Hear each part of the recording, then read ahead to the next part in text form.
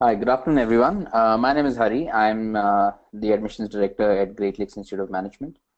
Um, I'm doing a quick mic check here. Uh, I hope all of you can hear me. Uh, if you have, if you're having any trouble hearing me, please do uh, type in a message, and our team will look into it.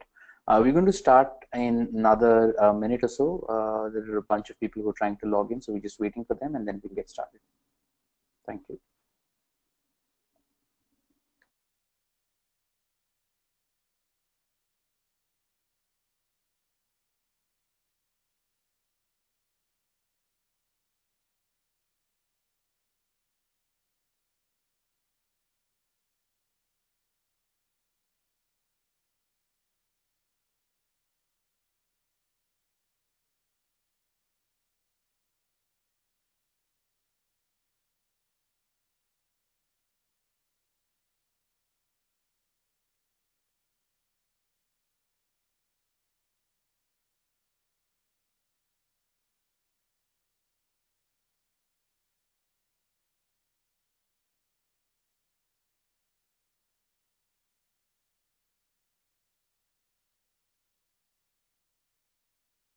Once again, good afternoon, um, everyone. Thank you so much for joining me on this um, webinar. Um, today, what we're going to talk about is uh, we're going to analyze, uh, you know, the uncertainty that surrounds us uh, in the IT sector, what what is causing it, and more importantly, uh, if you are an IT professional uh, today, uh, what could you be doing to future-proof your career?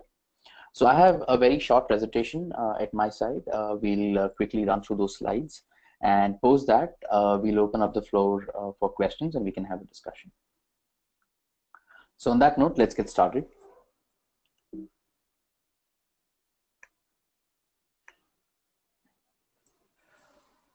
So I'm sure uh, all of you are reading news and you all are aware in terms of what what is happening um, as we see around us. And this is not something that has just started. It's been in the works for the past couple of years. Uh, we have uh, been witnessing a slowdown in you know, IT, ITES as we know it. And uh, the fact of the matter is that uh, today, as we stand, we are standing at a crossroad where the IT sector is in transition. And I'd like to call it a transition from scale to skill. Uh, so traditionally, uh, IT sector was, uh, or all IT services companies, you know, the, the big ones in India, like Infosys, Cognizant, TCS, Wipro, HCL, all of these guys, uh, were built on a scale model where uh, essentially the whole business revolved around how many full-time equivalents uh, can you provide on a project. Uh, but now uh, with the changing technology landscape and also the changing business requirements of their clients, there's a huge transition wherein it is no longer about how many people can you provide, but what is the skill set that your team brings to a project. So hence, this is a transition from scale to skill. Um, McKinsey, in one of its uh, recent reports, had mentioned that uh, you know about 40% of India's IT workforce uh, stands to be irrelevant in the next three to four years. And the reason for this is again because a large part of the IT workforce today is not trained in future-proof technologies and future-proof competencies that businesses worldwide are looking for. Uh, NASSCOM, on the other hand, predicts that you know we are looking at a situation where there could be three to four lakh job losses in the IT sector in the next three years, and these are big, big numbers. I mean, I don't need to give you context there. It is important to understand as to what is the reason. So one reason we've already looked at, which is in terms of changing business requirements and how that has impacted the entire IT services model. Uh, a bigger reason also is adoption of newer technologies such as automation, uh, which has come in a big way in technology, machine learning, artificial intelligence. You know, all these are actually contributing to things happening at scale with lesser number of resources.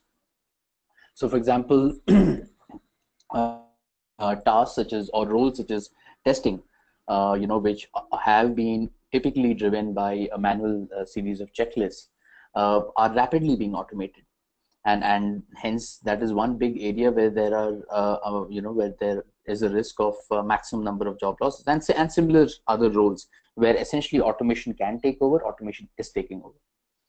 Uh, the other big shift is the shift from old technologies to new frontiers. Uh, you know technology uh, as technologies are getting irrelevant uh, you know companies are looking forward to newer ways of solving problems using newer technologies or newer areas such as uh, you know machine learning uh, analytics data science big data all of these areas. And because the business requirements are transitioning into that area uh, you know the requirements of uh, the IT workforce is also to transition to that area. So what are these new frontiers that we're talking about?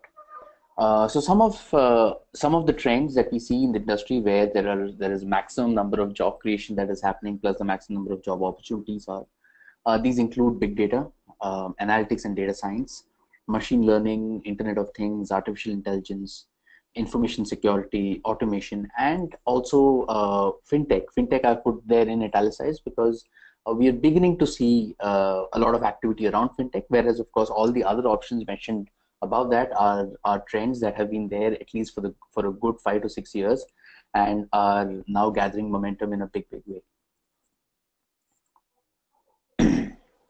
but it's not all uh, doom and gloom uh, as they say. You know there is uh, there is a lot of uh, positive news out there and i think that is uh, what is important. That is what we all need to focus on. Uh, fact of the matter is that for all the job losses in traditional it services there are a huge number of openings in emerging areas. And it's actually interesting to see that the very same companies that are actually you know cutting down jobs are also the ones that are recruiting in a big way in these other areas so for example if you take an example of infosys or cts or you know tcs or any of these guys uh, you know and if you take an example of a role such as testing where you know uh, companies are phasing out a lot of people parallelly, you'll also see that there are, there are massive requirements in terms of big data technologies, in terms of uh, data science and analytics within these same companies. Uh, and cybersecurity is uh, another example where companies are actually struggling to find. As an example, I've quoted analytics here. Now, just compare these figures. analytics in India is growing at 30% per year and contrast that with the IT sector, which has been growing at 5 to 7% for the last couple of years, and, and it is likely to only go in decline till they again pick up steam. So you can you can clearly see the difference of opportunity that exists. Uh, again, two reputed organizations, McKinsey and NASSCOM, uh, have quoted in their reports that McKinsey says that India is likely to fa uh, face a shortage of 2 lakh analytics professionals by 2018. That is by the end of next year, India will uh, if if we go at the current trend, we will fall short of about two lakhs analytics professionals as per the jobs that are there. NASSCOM, on the other hand, uh, predicts that you know that there will be an estimated five lakh job openings in India for analytics and data science professionals by 2018. So just uh, as in the previous slide, we saw that the numbers of job losses are huge. A fact of the matter is that the numbers for job creations in these emerging areas are also immense.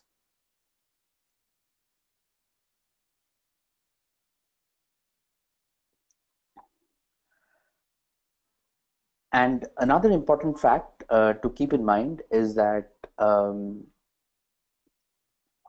professionals working in analytics and data science are not only getting paid higher than their peers in IT sector, but also the growth is much, much faster. And I, I think that is a virtue of, you know, uh, the phase of adoption and growth that an industry is. You know, a conventional IT services industry, uh, which is now seeing a slowdown or is sluggish in nature, obviously your growth as a professional is also going to be slower as compared to a booming uh, you know sector such as analytics and big data where uh, you know companies and all kinds of companies are recruiting and they're you know trying to ramp up their talent. Where as professionals also you have uh, you know you have fantastic growth opportunities. As as an example to understand easily you know what we often quote is that where we are today in analytics uh, data science and big data in 2017 uh, is the same as where we were in IT services sector in the early 90s. So a professional who would have come into uh, you know IT services around 94, 95 uh, has had the opportunity to build a fantastic career for himself or herself. And the same is uh, true for all those professionals who are uh, looking to and willing to skill themselves and and enter the field of uh, emerging fields such as analytics data science and uh, big data because the future uh, holds a lot of promise for them provided they get trained for it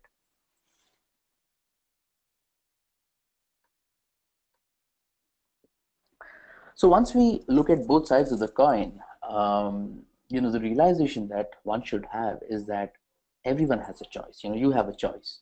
The choice is that either you can be a part of the future or you can be a relic of the past, depending upon how you wish to upskill yourself and retrain yourself. Uh, for most professionals today, uh, it is uh, mandatory that you hit a refresh uh, on your career. You take a relook at your career, irrespective of how many years you spent. You may just be starting out in your career, or you could be a mid-career professional who spent about 10 to 15 years already. Uh, you know, irrespective of all that, the changing business landscape and the changing technology landscape merits a thought from your side that you relook at it and you think about what are those skill sets and competencies that you have to build that are actually going to future proof your career. And fact of the matter is that upskilling and continuous learning is the new normal. You know, the skills that you have built that have brought you till this point in time may not be good enough to keep you going in future. So it is important that you identify what are those right skills that you should be building, and then you go about in a concerted fashion around building those. And uh, second uh, important aspect, which we try and uh, sensitize and educate a large amount of audience, is that you know learning cannot be a one-time activity right? You cannot uh, look at learning as something that you did in your 20s and then you stopped. That's not going to happen anymore.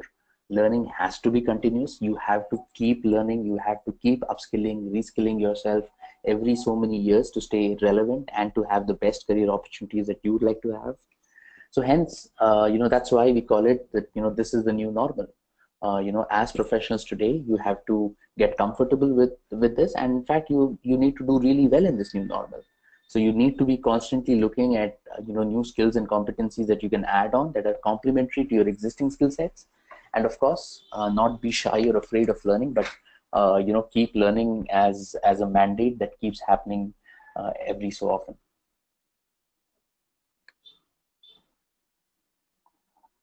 if we look at our own, uh, you know, diaspora of alumni uh, that we have taught over the years, uh, what we see is that there are three mantras, uh, as we call it, for career success in today's time and age. The first one, and by far the biggest one, is that you have to be data proficient. You know, the consulting organization Gartner, in a in a recent report, uh, mentioned something that is uh, that is extremely important for everybody to understand and what, what they said is that by 2020, every knowledge professional, every knowledge worker, which means every skilled worker, has to be a data scientist in some capability, right? So, of course, the extent to which you will use data uh, will change. The extent to which you will use analytics or data science will change depending upon your role, the maturity of your company, and how widely is analytics adopted within your organization.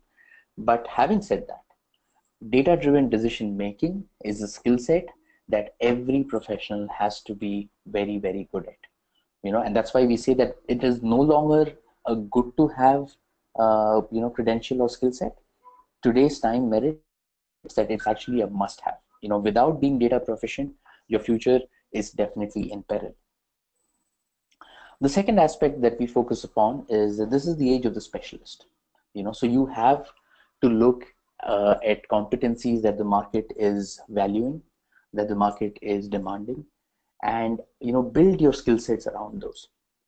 Right. So uh, you know pick an area where you want to build expertise, and of course as you try and do more and more research, you will realize that the industry rewards hard skills and not you know superficial things such as tools or languages. Right. So look beyond those. Don't look for shortcuts. You know, look for hard skills, hard competencies sorry, hard skills and hard competencies that you can build.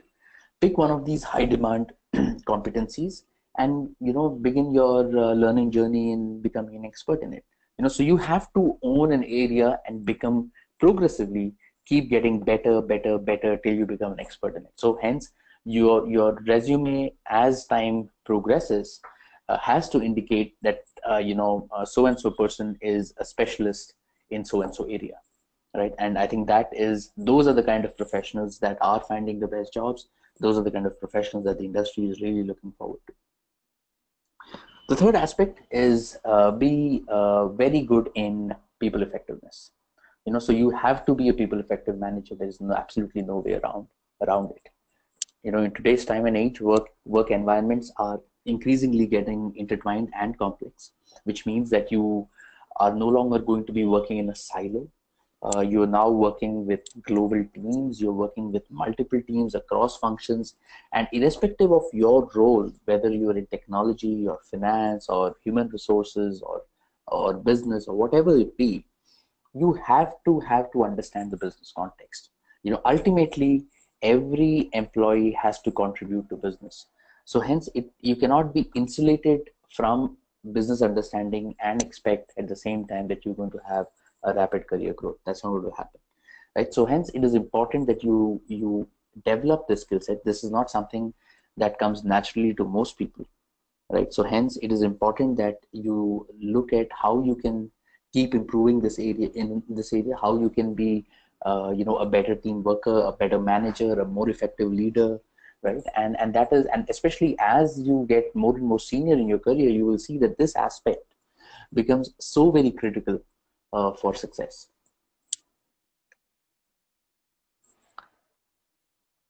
So now that we have seen um, you know uh, the current scenario understood the reasons behind it and also identified uh, you know what are these future proof technologies or competencies that one can focus on uh, you know the moot question now is that how can you bridge the gap so there are a few pointers here. Uh, again uh, recapped from our experience of several years of teaching professionals across all age spectrum uh, age spectrums. First and foremost what i want to put out there is that there is no right time to start learning. You know uh, i see and more so in senior professionals where you know where they come to us and they wonder that you know they've had 15 18 20 25 years of experience and uh, isn't it a little too late to go back to school uh, the simple question is this that what is your other option? Right if you don't learn you become irrelevant right? So uh, you know if you really want to secure your career and to grow in your career you have to learn. You know we are standing at such a time and place where uh, learning has to happen right? And there is absolutely no right time to start learning. You know the right time is right now. And uh, whether we like it or not our future depends on it so hence this sensitization is very important that you have to keep learning and don't wait for the perfect opportune moment to happen when you can start learning uh, you know and if you realize that you have to start your education you have to start it right now the second aspect is that you have to pick a competence you want to build. And again and again, I'm using the word competence as opposed to any other term because you know that is what it is really about now. You know, gone are the days when uh, you know you could merely get a job because you worked at uh, you know an XYZ place or you graduated from so and so institution. Right today, the best jobs go to those people who are able to demonstrate their worth.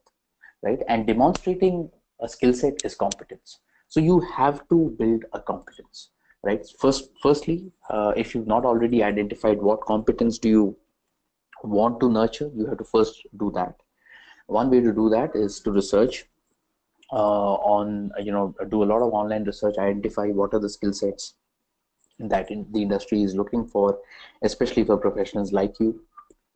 Then once you have a few options that have been shortlisted in your mind you talk to your peers your managers your mentors uh, you know and understand uh, the pros and cons of each of these.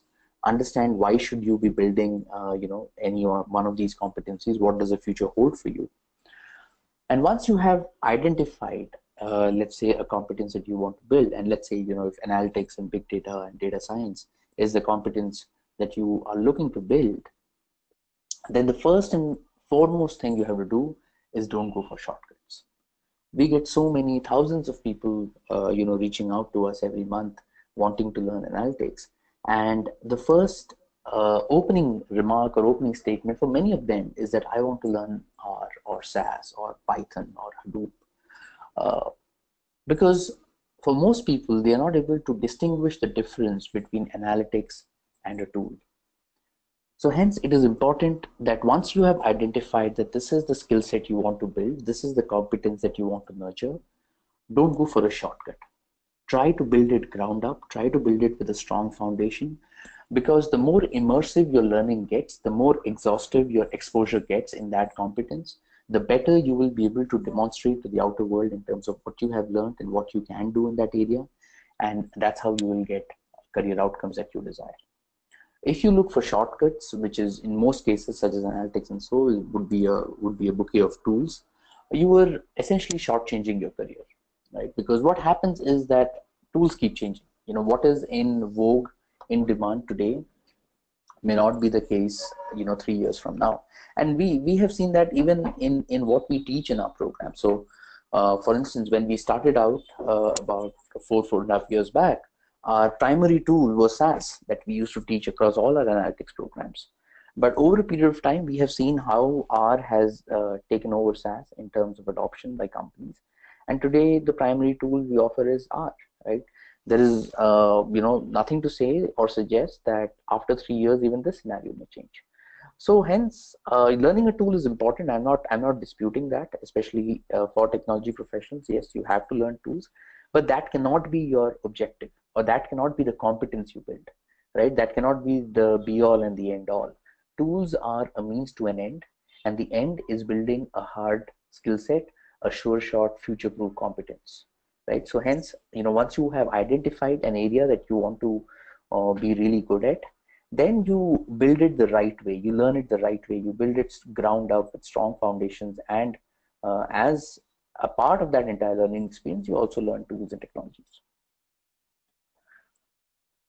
The other um, realization that we want all candidates to have is that these emerging areas that I mentioned earlier, whether it is analytics or big data or machine learning or artificial intelligence, uh, any of these areas, we have to understand that these are hard skills to build and they are hard for a reason. The reason is that these are not superficial. You cannot scratch the surface and hope that you know you're going to get a fantastic outcome right if you want outcomes if you want to uh, do well in your career in these areas then you have to go deep and the deeper you go you realize that you know many of these areas are multidisciplinary in nature right? So you know uh, someone who's coming from a programming background might uh, plunge into big data thinking that oh it's just another programming tool or language but uh, you are going to be disappointed because that is not the case right? Big data analytics is not just about you know a, a technology stack that you learn. It is also a lot about uh, you know uh, machine learning and deep learning and art artificial intelligence and visualization and so on. uh, which is a lot beyond uh, you know pure programming. So hence these are multidisciplinary in nature and thereby they are hard to learn hard to acquire. Uh, and uh, the only sure shot way of learning these is by applying yourself. So the more time you spend to learn them, the more time you spend to practice what you have done to showcase your work, you know, the better you will get it. So what is important as a takeaway from this point is that don't go into, uh, you know, learning something hoping that you're going to learn it in 30 hours or 40 hours or 50 hours. Because in 30 hours, you cannot learn analytics. I can assure you that. In 30 hours, you cannot learn big data either right what you can learn is probably some applications of a tool on on a given set of techniques uh, but then that is not you know what what you have learned essentially just to solve an example right you have not really built that competence and and the day you step into an interview looking for a job uh, you will get this realization when when you know your recruiter will ask you questions and you won't be able to answer. So hence don't go for a shortcut. Uh, give it the time the importance the commitment it merits and work hard on it and then you will be in a position to reap its rewards.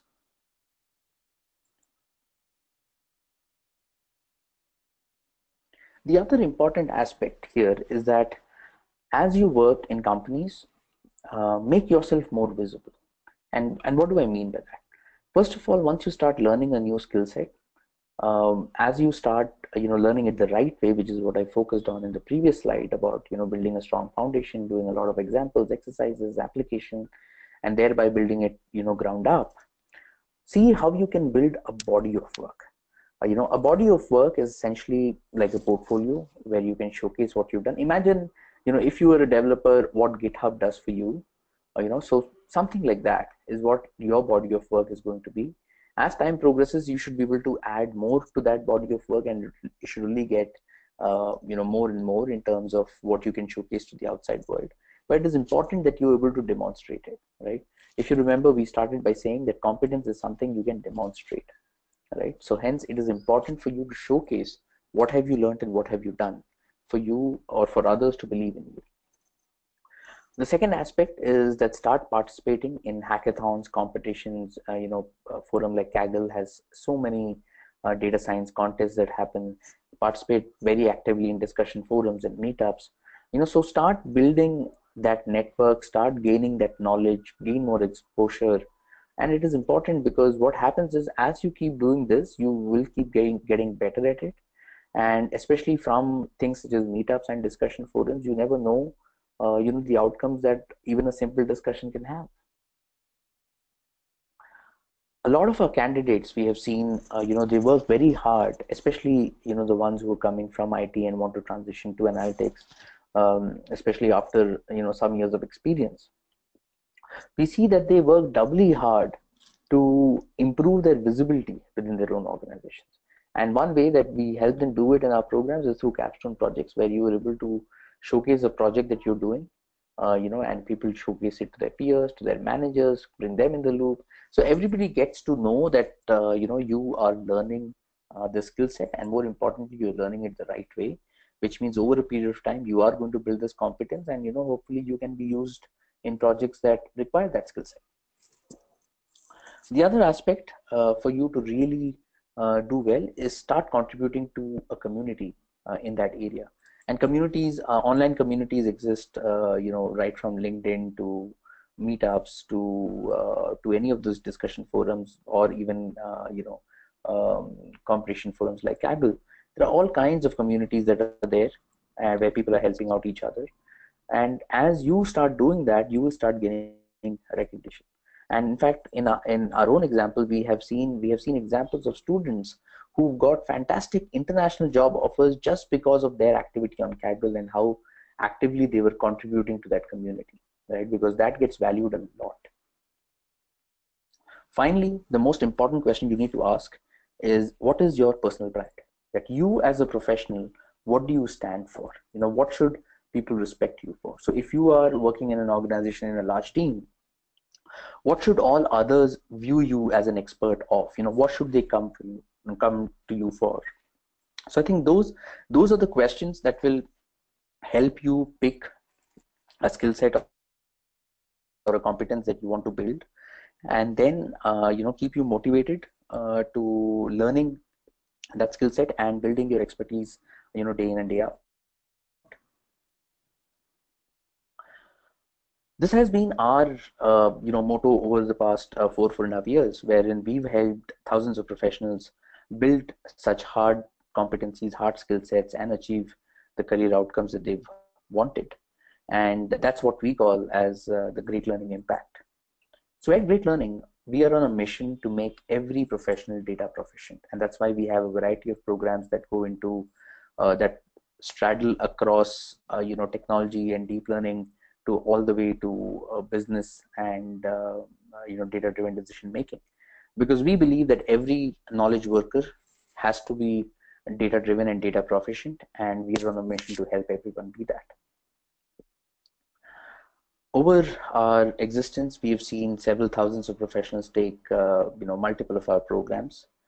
And uh, recently uh, we have delivered 1 million learning hours in analytics and big data. So you can imagine the scale of education that we have imparted uh, we have learning centers in six cities, Bangalore, Chennai, Hyderabad, Gurgaon, Pune, and Bombay, where professionals attend our blended programs, which are essentially uh, weekend classes and online sessions. Uh, our programs, uh, as of today, are offered in collaboration with top institutions. Um, from India, it's Great Lakes, which is one of India's top 10 business schools, consistently ranked in the top 10. And it, we're also internationally recognized, so a lot of our candidates also move countries and they come from in fact we also have international candidates pursuing our programs. And our programs are internationally recognized by illinois institute of technology chicago. Uh, it's a matter of great pride that our business analytics and data science program they've been ranked number one for uh, two years in running now. And uh, our peers in that program are established well-known institutions such as uh, IIM Bangalore and ISB and we've been consistently ranked ahead of them Uh, our faculty, because of their good work and the experience that they've imparted over the years, uh, are now ranked again amongst top 10 analytics faculty in India. Again, uh, aside of IIM Ahmedabad, uh, we are the only institution to have two analytics faculty ranked within top 10, and both happen to be program directors of our courses. So at Great Learning, if you wish to learn analytics or pick up a data-driven skill, uh, we have created programs such that there are multiple learning paths depending upon your comfort, your level of expertise, what you want to learn, and what mode you want to learn in. Uh, so we have four different programs. Uh, the first program is a postgraduate program in business analytics, which is a one year long program. It is a blended program, which means it's a mix of both weekend classroom sessions as well as online sessions. And uh, here the objective is to train you and skill you on analytics and data science. This is the program that I was mentioning earlier, which wherein we've been ranked number one in India. We've been ranked as the best analytics and data science program in India for the past two years. Uh, we have another program that is focused on technology professionals, which is a postgraduate program in big data. It is one of its kind of program uh, in the country today because here the focus is not merely on teaching you uh, tech stack, which we of course do, but it is also a lot about going beyond that. So we train candidates in areas such as machine learning and visualization, which is the reason why a lot of technology professionals pursue this program and also a lot of companies look at um, hiring candidates from this program. We also have an executive MBA program, which is again a blended program, a mix of uh, weekend classroom and online sessions. And here, um, the objective again is to help you uh, become a data-driven manager. And we have new age specializations such as analytics, product management, operations, finance, and digital marketing. Again, this program is now one of India's largest executive MBA programs with uh, classes happening in multiple centers and uh, hundreds of professionals doing it every year. And finally, we have an online analytics program, which is a business analytics certification. There's a six month online program. And the way it has been designed is that we have learned from all the experiences of uh, you know, online education providers and try to come up with what we believe is the best way to learn online.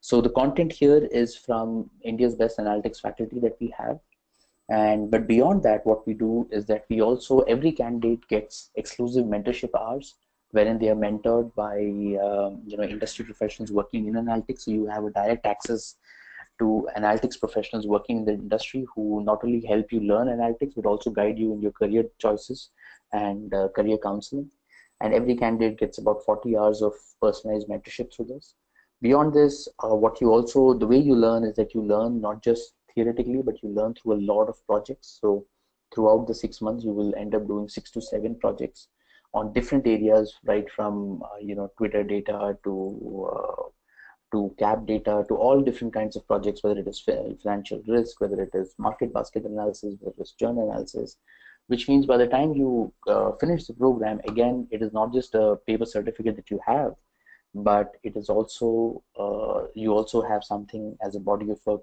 for you to show to the outside world. And these are the reasons why it has been uh, reviewed as the best way to learn analytics online.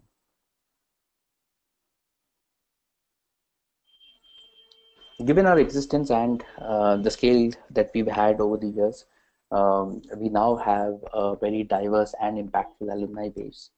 About half of our candidates, about 50% of the candidates come from IT sector. So it you know so IT sector definitely contributes a maximum number of candidates wherein people come in wanting to either uh, transition to analytics or progress their career into analytics mm, and not just analytics but also analytics big data data science all these areas and outside of IT uh, the remainder of our candidates are split across BFSI analytics uh, retail consulting manufacturing etc over 60% of our alumni have transitioned to roles in analytics within 6 to 12 months of graduation. So that is probably the best measure of how impactful the education is.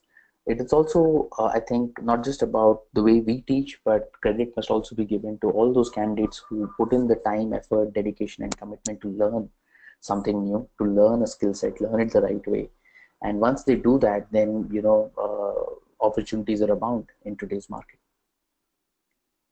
As we stand today, we have alumni presence across all work experience brackets. So uh, we get candidates all the way from three years of experience to uh, you know 25, 30 years of experience. Our average experience itself is about eight to nine years.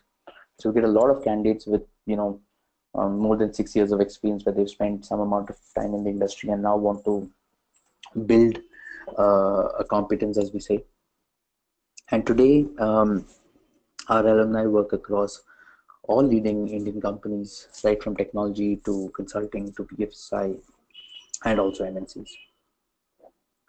We've had several, several examples of IT professionals transitioning to analytics projects within the same employer. Again, one way that uh, that happens is through what we call as capstone projects. So every candidate in our programs, uh, you know, they you have to do a capstone project, which is a real world business problem that you solve. And as you do that, you get more exposure and more visibility. And often we've seen that uh, people, uh, you know, showcase that visibility within their existing employer, and the employ and and their managers get to see what they're doing, and are often impressed by what they've learned, and that's how they're able to transition. All right, so that uh, brings me to the end of uh, the deck that I had. Uh, I hope I've been able to cover uh, the questions, or at least some of the questions that you have in mind. All right, so with that, uh, let me draw this session to a close. once again, thank you all for your participation. It was wonderful having you participate in this. I know it's a it's a Thursday afternoon, so probably all of you are in office, and I truly appreciate the time that you've taken out for this. I sincerely hope that this session was useful for you and has uh, helped in allaying some fears or some apprehensions that you had. I'd love to hear from you uh, with any questions or clarifications or any further information that you'd like to know about us or about what the future could hold for you or for professionals in the IT sector, as was the topic uh, of this webinar. Uh, so I have mentioned my email ID here. Feel free to write into me. I'll, I'll be more than happy to assist you. And we also have the admissions contact details for all those uh, folks who are interested in knowing more about our programs and would like to take admissions into the same. Once again, thank you again for your time and participation. Um, I hope to interact with all of you in the near future as well. Thank you. All the best.